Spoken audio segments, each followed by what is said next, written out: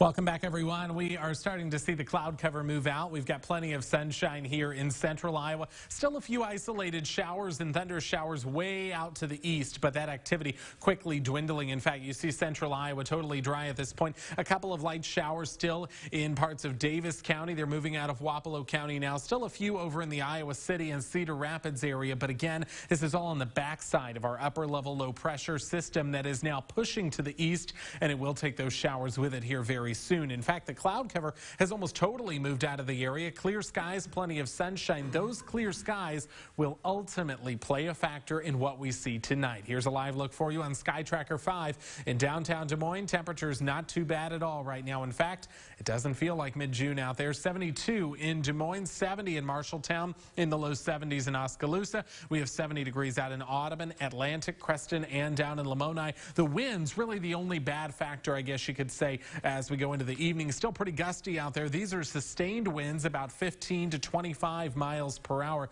You notice up to 23 miles an hour there in Ames and then gusting as high as 35 to 40. So it will stay blustery through the remainder of the evening and it will start to calm down a little bit later on tonight. The front, the low pressure all pushing to the east now. Dry, windy conditions out behind that and that's going to lead to a fairly cool night. The winds will die down though thankfully by 8 p.m. They'll be anywhere from 10 to 15 miles per hour by 11 o'clock midnight, they start to taper off some more.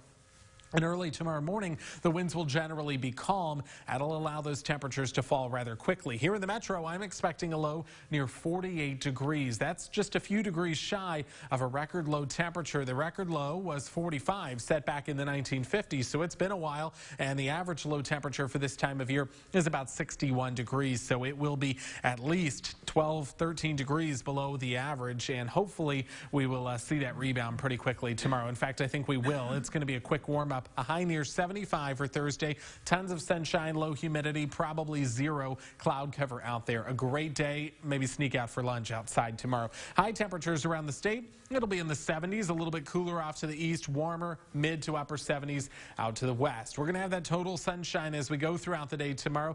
And then things do start to change again as we go into Friday. That's when a little bit more cloud cover will move in. Also the chance for a few isolated showers. However, the better rain chance comes on Saturday. That could impact some of your plans if you're headed out to Iowa Speedway Saturday. 78 the temperature there.